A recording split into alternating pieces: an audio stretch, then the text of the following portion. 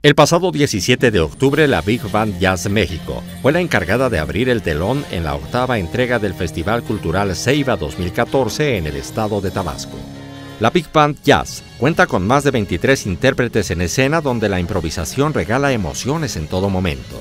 Un recorrido musical que abarca del Big Band clásico al jazz contemporáneo, incluyendo un selecto repertorio de grandes voces con temas de la música popular mexicana.